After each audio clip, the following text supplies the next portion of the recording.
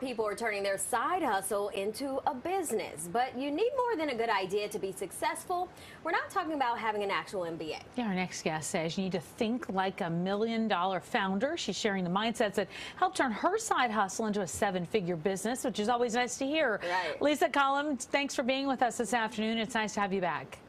Yes, thanks for having me. So, right before we get to your tips, share how you grew your idea into a business.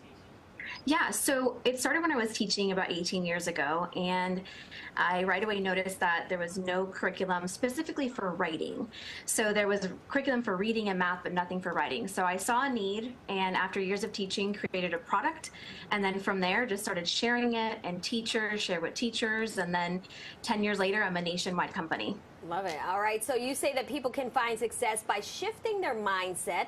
And one of the ways to do that is stop thinking you just don't look like the traditional business person. How does that really make a difference?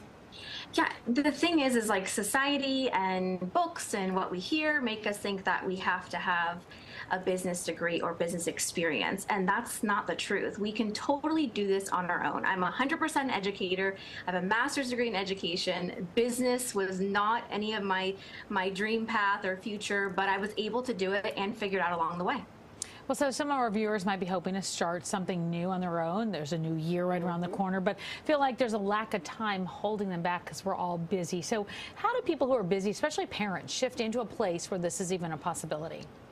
Yeah, so time management is crucial.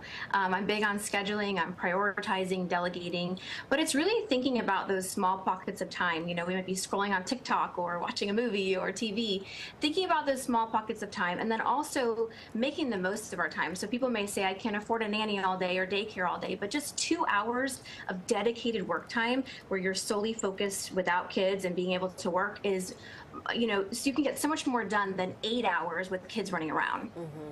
Well, we know that some people may get stuck along the way. They have this great idea, but they don't know how to really turn that into something in the real world. So, how do you get over that hurdle?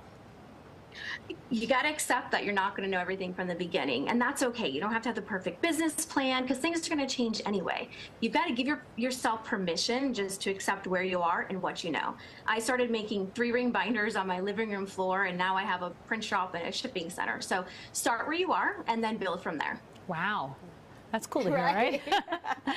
well, as a small business and side hustles, they can be a lonely job. I'm sure that you've known that over the years. How do you keep going when friends and family are not exactly in your corner? Yeah when when you enter business on your own you're basically in forced personal growth mm-hmm. and that's just the point where you've got to ignore other people's opinions and just whether it's family friends you've just got to keep moving um, you you got to ignore what they say find groups business groups um, business people different meetups that you can you know work and talk with other people and kind of get your own little cheer squad going because everyone's not going to see your vision and that's okay that's i think that's great thing. advice yeah. I, I, we, we get a lot of advice and that is that's great great advice. Everyone you know? doesn't see your vision until they actually see it. All right. So, what would you say to actually a mom or someone out there watching that is dreaming about starting their own business? Yeah, this is so much more than than making money this is creating something for yourself you know when you start that business or that side hustle you're finding a piece of yourself again and creating something for you and it's so much more powerful than you know just making money as a business owner no question about that. Lisa, thanks so much for joining us again. Nice to see you. Yes, thank you so much. All right. For more advice and inspiration, you can follow Lisa on Instagram at Lisa Collum CEO.